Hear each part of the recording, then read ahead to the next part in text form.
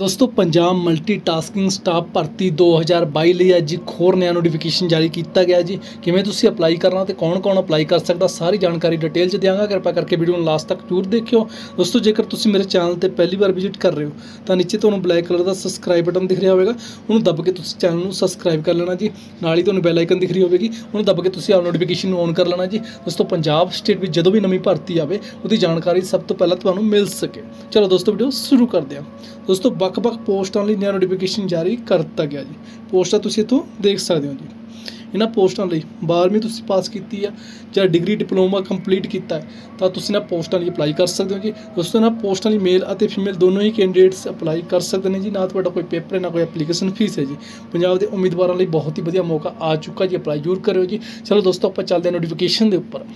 ਦੋਸਤੋ, ਅੱਜ ਦੀ ਭਰਤੀ ਨੋਟੀਫਿਕੇਸ਼ਨ ਜਾਰੀ ਕੀਤਾ ਗਿਆ ਜੀ। ਸਟੇਸ਼ਨ ਹੈੱਡਕੁਆਰਟਰ ਬਠਿੰਡਾ ਵੱਲੋਂ ਨੋਟੀਫਿਕੇਸ਼ਨ ਜਾਰੀ ਕੀਤਾ ਗਿਆ ਜੀ। ਅਨੁਬੰਧ ਆਧਾਰ ਤੇ ਸਟਾਫ ਦੀ ਨਿਯੁਕਤੀ ਕੀਤੀ ਜਾਣੀ ਹੈ ਜੀ। ਇਹ ਪੋਸਟਾਂ 11 ਮਹੀਨੇ ਵਾਸਤੇ ਭਰੀਆਂ ਜਾਣੀਆਂ ਨੇ ਜੀ, ਜੋ ਚਾਹਵਾਨ ਉਮੀਦਵਾਰ ਨੇ ਜੀ ਅਪਲਾਈ ਕਰ ਸਕਦੇ ਨੇ ਜੀ। ਇਹਨਾਂ ਦਾ ਕਾਰ ਸਮਾਂ ਹਫ਼ਤੇ ਵਿੱਚ 6 ਦਿਨ ਦਾ ਹੋਵੇਗਾ ਜੀ। 6 ਘੰਟੇ ਦਾ ਸਮੇਂ ਤੁਹਾਨੂੰ ਕੰਮ ਕਰਨਾ ਹੋਵੇਗਾ ਜੀ। ਸਿਰਫ ਸਾਈਕੋਲੋਜੀਕਲ ਕਾਉਂਸਲਰ ਲਈ ਹਫ਼ਤੇ ਵਿੱਚ 6 ਦਿਨ ਲਈ ਆਣਾ ਹੋਵੇਗਾ ਜੀ ਅਤੇ ਟਾਈਮ ਹੋਵੇਗਾ ਜੀ 5 ਘੰਟੇ ਦਾ। ਵੇਰਵਾ ਕੁਝ ਇਸ ਪ੍ਰਕਾਰ ਹੋਵੇਗਾ ਜੀ।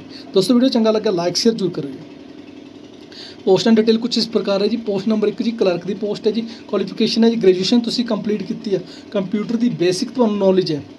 ਅਤੇ 5 ਸਾਲ ਦਾ ਤੁਹਾਡੇ ਕੋਲ ਐਕਸਪੀਰੀਅੰਸ ਹੈ ਤਾਂ ਤੁਸੀਂ ਅਪਲਾਈ ਕਰ ਸਕਦੇ ਹੋ ਜੀ। ਟੋਟਲ ਪੋਸਟਾਂ ਨੇ ਜੀ 5 15000 ਰੁਪਏ ਪ੍ਰਤੀ ਮਹੀਨਾ ਤਨਖਾਹ ਦਿੱਤੀ ਜਾਵੇਗੀ ਪੋਸਟ ਨੰਬਰ 2 ਜੀ ਨਰਸਿੰਗ ਅਸਿਸਟੈਂਟ ਦੀ ਪੋਸਟ ਹੈ ਜੀ। ਕੁਆਲੀਫਿਕੇਸ਼ਨ ਹੈ ਡਿਗਰੀ ਡਿਪਲੋਮਾ ਤੁਸੀਂ ਕੰਪਲੀਟ ਕੀਤਾ ਨਰਸਿੰਗ ਵਿੱਚ। ਅਤੇ 5 ਸਾਲ ਦਾ ਤੁਹਾਡੇ ਕੋਲ ਐਕਸਪੀਰੀਅੰਸ ਹੈ, ਤਾਂ ਤੁਸੀਂ ਅਪਲਾਈ ਕਰ ਸਕਦੇ ਹੋ ਜੀ। ਪੋਸਟ ਹੈ ਜੀ, ਇੱਕ 16000 ਰੁਪਏ ਪ੍ਰਤੀ ਮਹੀਨਾ ਸੈਲਰੀ ਦਿੱਤੀ ਜਾਵੇਗੀ। ਪੋਸਟ ਨੰਬਰ 3 ਜੀ ਫਿਜ਼ੀਓਥੈਰੇਪਿਸਟ ਦੀ ਪੋਸਟ ਹੈ ਜੀ। ਕੁਆਲੀਫਿਕੇਸ਼ਨ ਹੈ ਜੀ ਡਿਗਰੀ ਡਿਪਲੋਮਾ ਤੁਸੀਂ ਕੰਪਲੀਟ ਕੀਤਾ ਫਿਜ਼ੀਓਥੈਰੇਪੀ ਵਿੱਚ। 5 ਸਾਲ ਦਾ ਤੁਹਾਡੇ ਕੋਲ ਐਕਸਪੀਰੀਅੰਸ ਹੈ, ਤਾਂ ਤੁਸੀਂ ਅਪਲਾਈ ਕਰ ਸਕਦੇ ਹੋ ਜੀ। ਪੋਸਟ ਹੈ ਜੀ, ਇੱਕ 16000 ਰੁਪਏ ਪ੍ਰਤੀ ਮਹੀਨਾ ਤਨਖਾਹ ਦਿੱਤੀ ਜਾਵੇਗੀ। ਪੋਸਟ ਨੰਬਰ 4 ਜੀ ਮਲਟੀਟਾਸਕਿੰਗ ਸਟਾਫ ਦੀ ਪੋਸਟ ਹੈ ਜੀ, ਵਿਦਿਅਕ ਯੋਗਤਾ। 12ਵੀਂ ਤੁਸੀਂ ਪਾਸ ਕੀਤੀ ਹੈ ਕੰਪਿਊਟਰ ਦੀ ਤੁਹਾਡੇ ਕੋਲ ਜਾਣਕਾਰੀ ਹੈ। ਘੱਟੋ ਘੱਟ ਉਮਰ ਹੈ ਜੀ 21 ਸਾਲ ਤੱਕ ਦੇ ਉਮੀਦਵਾਰ ਅਪਲਾਈ ਕਰ ਸਕਦੇ ਨੇ ਜੀ। ਪੋਸਟ ਹੈ ਜੀ, ਇੱਕ 12000 ਰੁਪਏ ਪ੍ਰਤੀ ਮਹੀਨਾ ਤਨਖਾਹ ਦਿੱਤੀ ਜਾਵੇਗੀ। ਪੋਸਟ ਨੰਬਰ 5 ਸਾਈਕੋਲੋਜੀਕਲ ਕਾਉਂਸਲਰ ਦੀ ਪੋਸਟ ਹੈ ਜੀ ਕੁਆਲੀਫਿਕੇਸ਼ਨ ਹੈ ਜੀ ਐਮਐਸਸੀ ਤੁਸੀਂ ਕੰਪਲੀਟ ਕੀਤੀ ਹੈ ਕਲੀਨਿਕ ਸਾਈਕੋਲੋਜੀ ਵਿੱਚ। ਅਤੇ 3 ਸਾਲ ਦਾ ਤੁਹਾਡੇ ਕੋਲ ਐਕਸਪੀਰੀਅੰਸ ਹੈ, ਤਾਂ ਤੁਸੀਂ ਅਪਲਾਈ ਕਰ ਸਕਦੇ ਹੋ ਜੀ। ਪੋਸਟ ਹੈ ਜੀ, ਇੱਕ 15000 ਰੁਪਏ ਪ੍ਰਤੀ ਮਹੀਨਾ ਤਨਖਾਹ ਦਿੱਤੀ ਜਾਵੇਗੀ। ਦੋਸਤੋ ਅਪਲਾਈ ਤੁਸੀਂ ਕਿਵੇਂ ਕਰਨਾ ਜੀ? ਦੋਸਤੋ ਪਲੇਨ ਪੇਪਰ ਉੱਪਰ ਆਪਣਾ ਨਾਮ, ਉਮਰ, ਪਤਾ, ਆਧਾਰ ਅਤੇ ਪਾਸਪੋਰਟ ਸਾਈਜ਼ ਫੋਟੋਗ੍ਰਾਫਸ ਲਗਾ ਕੇ ਵਿਦਿਅਕ ਯੋਗਤਾ ਐਕਸਪੀਰੀਅੰਸ ਦੇ ਡਾਕੂਮੈਂਟਸ ਵੀ ਤੁਸੀਂ ਸੈਲਫ ਅਟੈਸਟਡ ਕਰਕੇ ਨਾਲ ਲਗਾਣੇ ਹੋਣਗੇ ਜੀ। ਅਪਲਾਈ ਕਰਨ ਦੀ ਲਾਸਟ ਡੇਟ ਹੈ ਜੀ 30 ਦਸੰਬਰ 2022 ਤੱਕ ਤੁਹਾਡੀਆਂ ਅਰਜ਼ੀਆਂ ਪਹੁੰਚ ਜਾਣੀਆਂ ਚਾਹੀਦੀਆਂ ਨੇ ਜੀ। ਐਡਰੈਸ ਵੀ ਮੈਂ ਤੁਹਾਨੂੰ ਦੱਸਾਂਗਾ, ਕਿਸ ਐਡਰੈਸ ਤੇ ਤੁਸੀਂ ਭੇਜਣਾ ਹੋਵੇਗਾ।